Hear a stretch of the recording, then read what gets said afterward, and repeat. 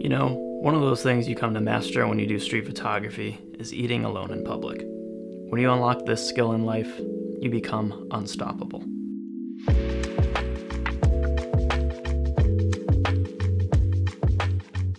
Lately, I've been shooting with adapted film lenses on my Fujifilm X-E4. Let me just make this clear right now, this won't make you take better photos. You might look cooler, but you won't necessarily take better photos because of this. Personally, I've been using these adapted manual focus lenses purely to look cooler than I actually am. No, I'm just kidding. Uh, I'm actually doing this to switch things up from my usual process and because I can't seem to find something that works for me and just stick to it. Shooting adapted lenses on newer digital cameras is no new concept. People have been doing this for a very long time. I've actually made a whole video on this exact topic last year. Uh, I did a pretty good job summarizing the basics to setting up adapted lens on the X-E4. So if you are interested in this kind of stuff, definitely check that video out. But people actually do this quite a lot with Fujifilm cameras. And it makes sense because, you know, Fujifilm cameras have that already analog design on their camera bodies. So why not slap on an old film lens on a Fujifilm camera? It's like icing on the cake for that analog yet digital shooting experience. In today's episode, I want to shoot a little bit with the Fujifilm X-E4 and an adapted lens setup, shoot street photography, and sort of talk about how, you know, shooting with an adapted lens, a manual focus lens, um, how all of this has been affecting my process. Thank you to Squarespace for sponsoring today's episode.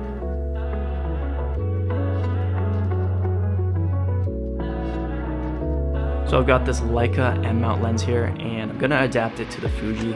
And to do this, I'm using a Leica M-mount to Fujifilm X adapter. I got this one on Amazon for about $20, so it's a super cheap option if you're looking to adapt Leica glass to the Fuji. I also own this Nikon to Fujifilm X adapter as well, and this is from K&F Concept. Also got this on Amazon. This one costed me about $35.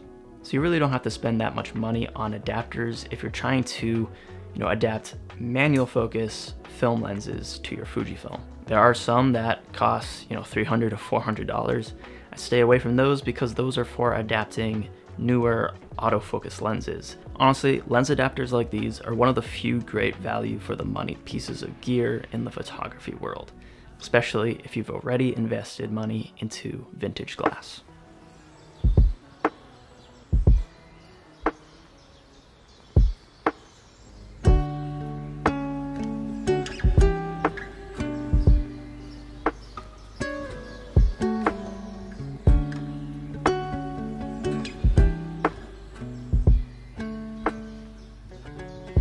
Right, so I'm in the beautiful yet incredibly small north end of Boston. It's like 94 out right now, and I'm hungry. I have the Hexanon 50 millimeter attached to the Fuji X-E4. Because of the 1.5 crop factor of the Fuji sensor, this is gonna be more of a 75 millimeter, which is fine. I actually like that focal length for street photography. Um, yeah, let's shoot and see how long I last before I get a heat stroke.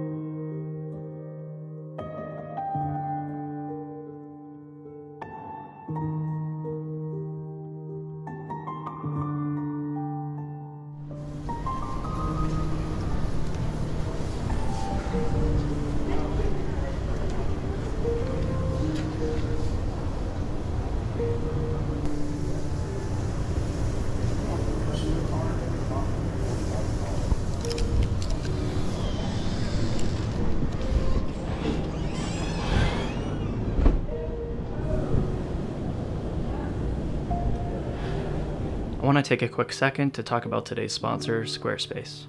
They're an all-in-one solution for those looking to build a customizable website, and I've personally used them for more than five years now. Photographers, regardless of their expertise, can make a professional-looking online portfolio using their easy-to-use templates. But Squarespace offers so much more. For example, my site is not only a place for my favorite photos, but it's also a place where I can share more about my process, as well as help run my business through my online store. If this sounds interesting to you, you can visit squarespace.com slash Faizal and use the code Faizal for 10% off your first purchase of a website or domain. Alright, so how is the experience shooting with vintage glass for street photography? Actually, if anything, it slowed me down quite a bit.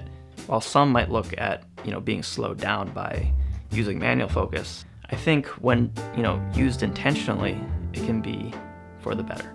You know, using a manual focus lens and being slowed down a little bit, you know, in those added few seconds it took me to, you know, focus and take the photo, I was thinking a bit more about the photo, you know, and whether or not that leads to better photos, I don't know, but I didn't find it to particularly get in my way, and it was a nice change to my usual process. You know, when you mostly shoot digital, you get so used to how simple and easy the autofocus is. You just hit a button and your picture's in focus almost instantly. There's really no thought put into it. And, you know, I'm not saying that using manual focus is better, um, but it was a nice change of pace. And, you know, if I can change things up um, in my process, I find it to be a lot of fun and I had fun, you know, doing something different. On top of that slower approach, I also had to accept that not all of my pictures were going to be 100% in focus. You know, that's just the way it goes when you use a manual focusing lens. Maybe you could say they had a more painterly feel to them. I don't want to say they felt more like film, um, but this painterly characteristic is something I find I get a lot when I shoot film. I find this setup offers a very similar shooting experience. Um, and it's a lot more financially sustainable, um, especially for those who, you know, are just getting into photography and, and can't throw down, you know, hundreds of dollars every month to get film, to get it developed and scanned. It's crazy how expensive film's getting. And I don't think there's anything wrong with trying to emulate film with digital. You know, people do it in their edits all the time. I do it. It's not going to hurt the film business. Um, I think the only thing that's going to hurt the film business is when Portra 400 actually costs $400. For the time being, we have adapted lenses, and this is one of the best, you know, deals or or best value for the money things that you can buy um, if you already have, you know, all this money invested in um, vintage glass. And maybe if you're a photographer who mostly shoots film and can't sustain the cost of it now, you know, this is an option for you to take some of the things you love about shooting film and put it into, you know, a digital camera. A $40 lens adapter to use film lenses you already might have is just too good of a deal to pass on. So I think this is worth the try if you've never done this before and you know you already have film lenses. So let me know what your experience with vintage glass on Fujifilm cameras has been like. You know, what lenses do you recommend to adapt to the Fuji? Um, I think anyone interested in this, looking for lenses, uh, could learn something from that. So definitely let us know in the comments. That's all for me today. I'll see you all in the next one. Love you guys. Bye.